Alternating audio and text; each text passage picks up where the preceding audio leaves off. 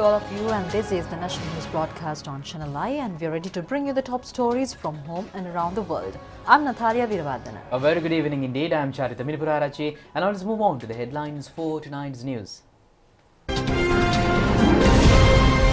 The Met Department forecasts less rains from tomorrow. Islam followers around the world celebrate Ramadan festival. Vaccination program will take place in Kandy, Kurunegala and Ratnapura districts after the western province. Maharagam Apeksha Hospital gets 100 beds under the 10,000 beds project. On to those and other stories in detail now and starting off with local stories. The Met Department says it expects a reduction of rains on tomorrow. The department said that the impact of the low pressure area in the Arabian Sea is getting less. Meanwhile, the Met Department said that there is no any impact on the country due to the earthquake near Sumatra Island. Rains can occur in the western, Sabaragamuwa, central and northwestern provinces and in Matara district. The Met Department said that rains above 75 millimeters can occur in Ratnapura, Kegalle, Galle, Matara, Nuwara and Kaluthura districts. The wind speed can increase up to 50 kilometers per hour. Deputy Director of the Disaster Management Center Pradeep Kodipilli said that the water level of rivers are increasing.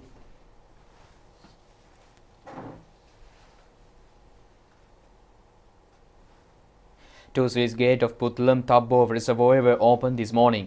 Puttalam Regional Irrigation Engineer Vidura Krishanta said if rains continue, 10 sluice gates have to be opened. Irrigation engineer in charge of Deduru Oya Reservoir Sampath Samarjiva said that four sluice gates of the reservoir were opened 3 feet each this morning. Another two sluice gates have been opened due to increase of water level by noon.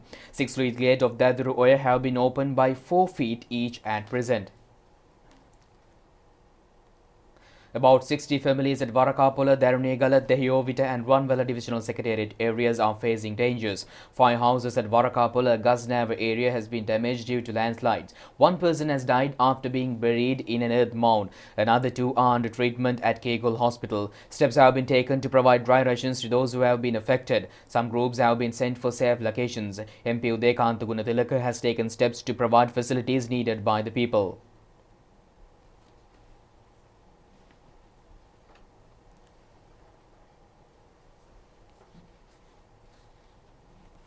Roads in Pugade area and low-lying areas have submerged due to the overflowing of Kelani River. Hanwella Nittambu main road has gone underwater.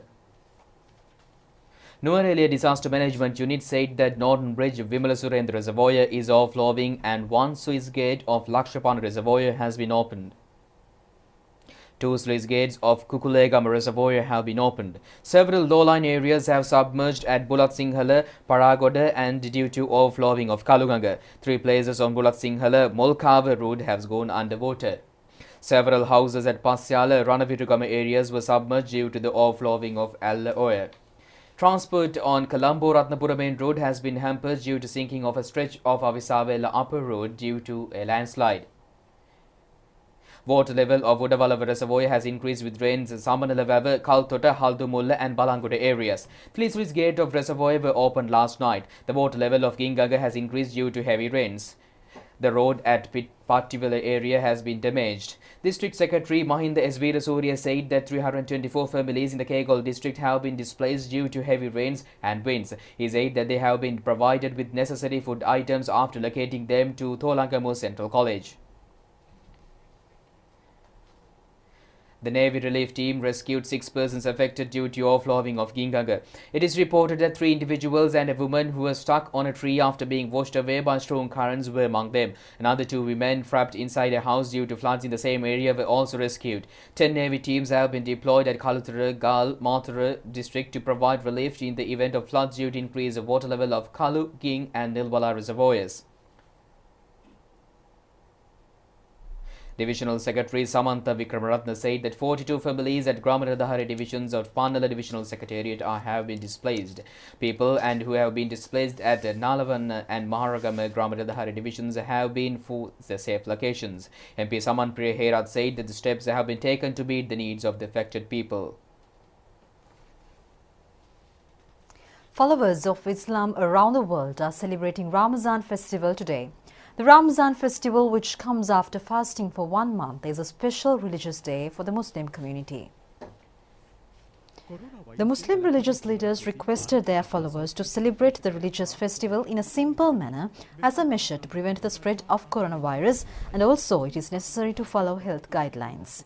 According to the recommendation, celebrating the religious festival was seen to be limited to homes today. And meanwhile, President Gotabaya Rajapaksa says that it is a valuable example to show the entire Islamic world by us through building of peace, brotherhood and reconciliation. Issuing a Ramazan message, the President has said that he believed the collective commitment and determination of true Islam followers who follow the Holy Quran would be further directed in that regard. After ending the fasting period, Sri Lankan Muslim community celebrate Eid ul Fitr with the hope that their wishes would be accepted by Allah. The president has expressed his greetings for the festival. Although it is a tradition to seek the blessings of Allah for a prosperous life by spending Ramadan period together, irrespective of differences, the social meaning should also appreciated. Islam followers believed that Ramadan period is an important opportunity for clean lives and to control oneself. The statement issued by the president has mentioned how Islam followers wish to free the world from community from the COVID-19 pandemic.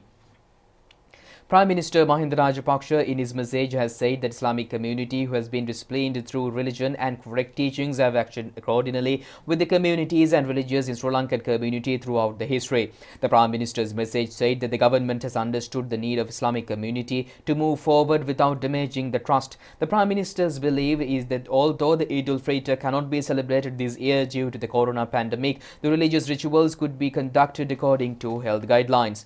The Prime Minister in his message has emphasized that he commend all Islam followers who conduct religious rituals from homes without gathering in large numbers at mosques according to health protective measures.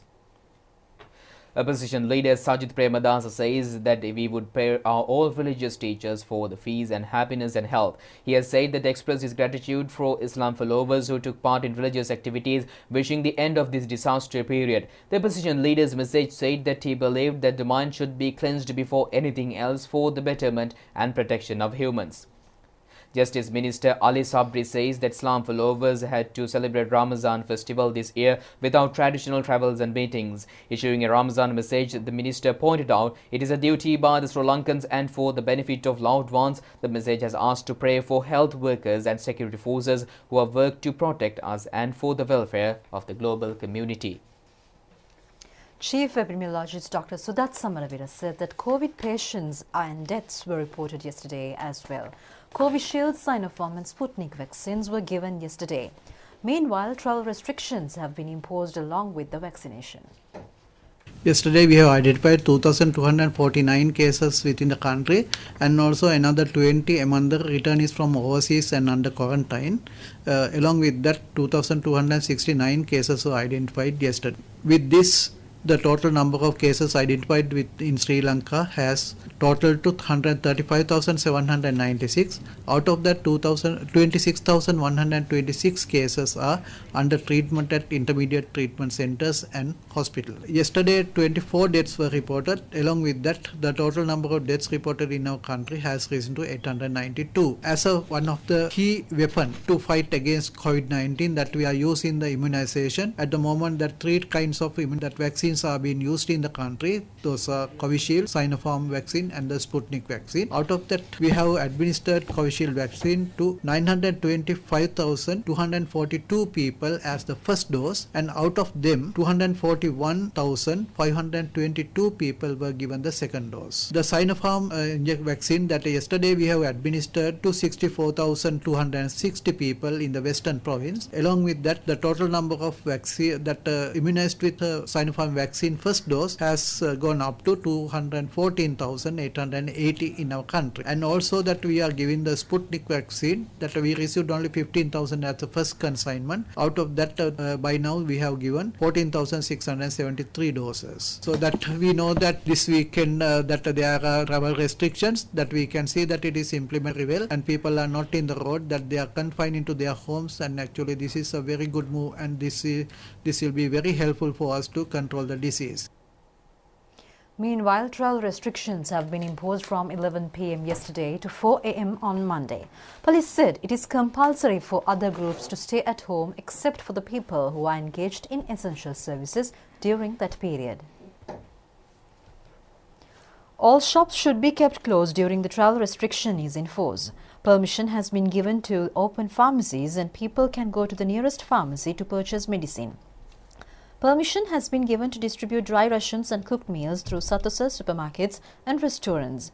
Owners of such institutions should get permission from the OIC of the police station in the relevant area.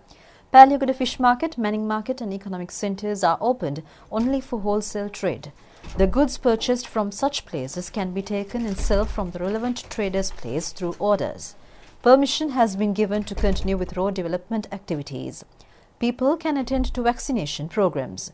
Manufacturing organizations of the Board of Investment and Export Development Board and factories can function.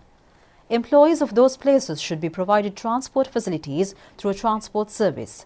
Police said public transport services and hiring vehicle services will not function during this time. If a person needs to visit a hospital or the airport, such a person can use his private vehicle or a hired vehicle. Essential services are implemented without any obstructions.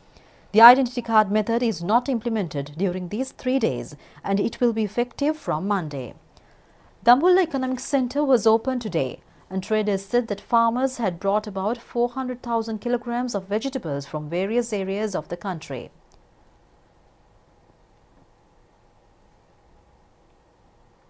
Vegetable stocks brought to Tambuttegama Economic Centre has been purchased by the government. It has purchased 70,000 kilograms of vegetables. Although shops were closed due to travel restrictions, essential services were conducted without any obstacles. 282 persons who violated quarantine regulations during the last 24 hours have been arrested. Police said 9,029 individuals were taken into custody for violating quarantine regulations since 30th October last year. 20,000 police officers have been deployed for duty at roadblocks and mobile patrols. Certain groups have lost their livelihood with the implementation of their restrictions. The government has decided to provide a 5000 rupee concessionary sack for the quarantine families and for people in isolated areas through Sathosa. Minister Bandula Gunawardena has given necessary instructions to Sathosa. Distribution of the concessionary sacks will be done through district secretariats and divisional secretariats, Gram Niladari offices and Samurdhi officials. The Trade Ministry said that Sathosa and cooperative outlets will be kept open only to issue concessionary sacks to district and divisional secretariats. Several Gram Niladari divisions of three districts have been isolated. Army Commander General Shavendra Silva said the isolation will be effective until 4 am on Monday. Accordingly, four areas of 150C Gram Niladari division under Kirankulam police area and two areas of 150B Gram Niladari division in the Batticaloa district have been isolated. 12 Gram Niladari divisions of Kinniya police area of the Trincomalee district have been isolated. 24 Gram Niladari divisions of the Giriulla police area in the Kurunegala district have been isolated. Minister Pavithra Wanniarachchi says that COVID-19 vaccination program will be implemented in Kandy, Kurunegala and Ratnapura district after the western province. It will be implemented at selected regional medical divisions of those districts. 1,154,795 have been given the first dose of COVID vaccine so far. 74,225 Sinopharm vaccine first dose and Covishield vaccine second dose have been given yesterday. The first dose of the Sinopharm vaccine has been given to 64,260 yesterday. So far, 214,880 have been given the Sinopharm vaccine. 241,522 have been given the second dose of the Covishield vaccine.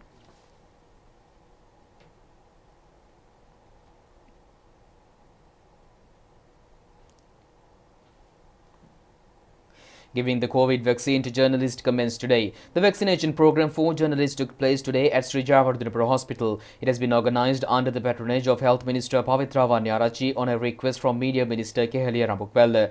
There are more than 6,000 who are in possession of media identity cards issued by the Government Information Department. The Ministry of Mass Media has informed media organizations to send journalists for vaccination according to their priority.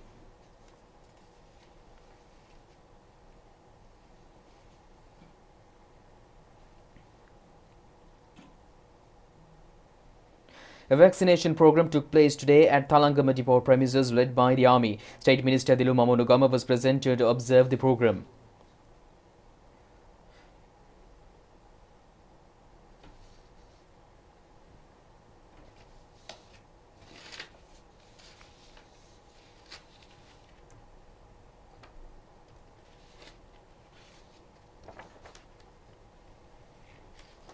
Meanwhile, a total of 889 COVID-19 patients were detected today. 1,306 fully recovered patients have left the hospitals today. Accordingly, the total of recoveries in the country has increased up to 111,108.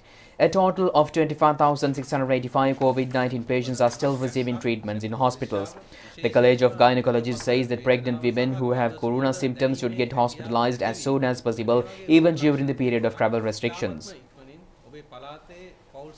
ඉක්මනින් ඔබේ පලාතේ පවුල් සෞඛ්‍ය වෛද්‍ය නිලධාරීන්ට දන්වන්න එහෙම නැත්නම් සෞඛ්‍ය අ, වෛද්‍ය නිලධාරීතුමාට දන්වන්න දන්වලා ඉතාමත්ම ඉක්මනින් රෝහල්ගත වෙන්න කියලා ඉතාමත්ම කාරුණිකව ඉල්ලා සිටිනවා The Corona Control Committee meeting of Polonnaruwa district was held today, yesterday, rather under the patronage of North Central Province Governor Mahipala Herath. It was held at the Polonnaruwa District Secretary.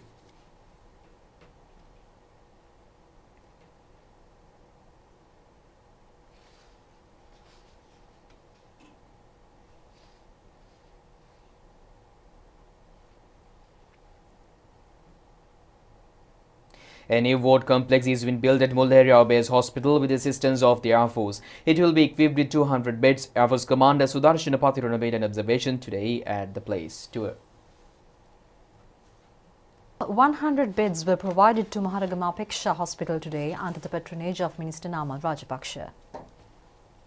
The beds were given under the project to donate 10,000 beds to corona patients. The beds have been donated on a request made by the management on behalf of the corona patients at the Apeksha Hospital. Director of the hospital, Dr. Vijit Gunasekara, and Chairman of the National Youth Services Council, Damta Vikram Singha, were present on the occasion. Minister Namal Rajapaksa also inspected the shortcomings at the Apeksha Hospital.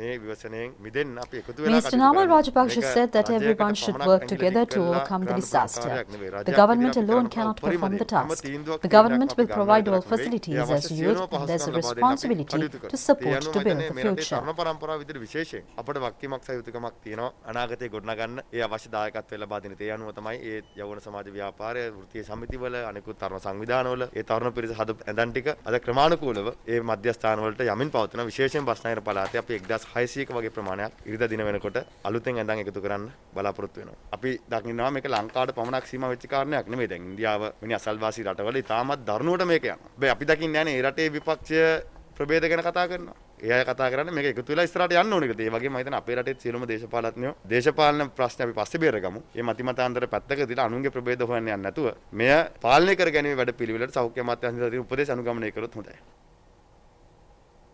The women's hostel of the Rajagiri Institute of Indigenous Medicine has been converted into a COVID treatment center. It has capacity to treat 324 patients at once. The army prepared the beds on the instructions of Army Commander General Shavendra Silva. Minister Bandula Gunawardena, Namal Rajapaksa and MP Madhura Vithana gave a present on the occasion. 1,000 beds are being prepared at Human Resource Development Centre and Mechanical Workshop of the Irrigation Department at Ratmalana. Minister Chamal Rajapaksa made an observational tour of the place yesterday along with State Minister Anuradha Jayaratne. And with that, we conclude tonight news. Do it just tomorrow at the very same time. Stay safe. Good night. Good night.